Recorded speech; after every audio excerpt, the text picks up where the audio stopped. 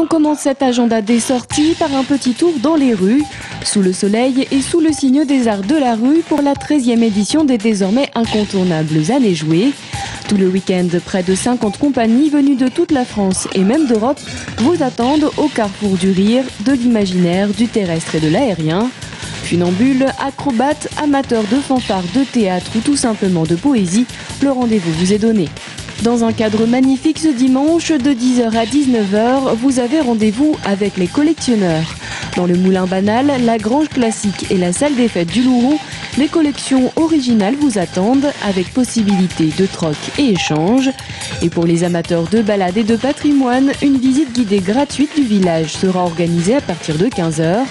L'occasion de découvrir ou redécouvrir temps, ainsi que le prieuré du 12e et son pigeonnier typiquement tourangeau.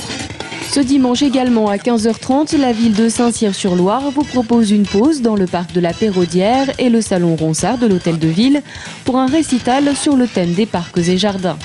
Une rencontre poétique et musicale, orchestrée notamment par l'école de musique des cantons de Neuvy-sur-Loire et Neuilly-Pompière au profit de l'association Touraine Alzheimer.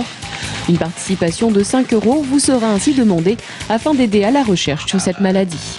Amateur de nautisme, le club de voile de Jouer les Tours vous propose de découvrir les sports de voile ce week-end au lac des Bretonnières. De 10h à 18h, samedi et dimanche, vous pourrez ainsi vous initier au canoë-kayak, à la voile traditionnelle, au jet ski ou encore découvrir les plaisirs du modélisme. Plus d'infos au 02 47 53 28 10. Et pour rester au bord de l'eau ou plutôt sous l'eau, sachez que la ville de Luynes accueille samedi après-midi et dimanche matin la Coupe de France senior de tir sur cible sous-marin.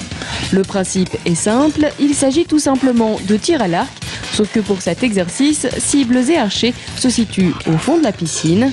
Rassurez-vous, inutile d'apporter votre tuba puisque la compétition sera retransmise sur écran, à moins que vous ne souhaitiez vous initier à cette pratique. Et dans ce cas, n'oubliez pas non plus votre maillot de bain. Passez tous un très bon week-end.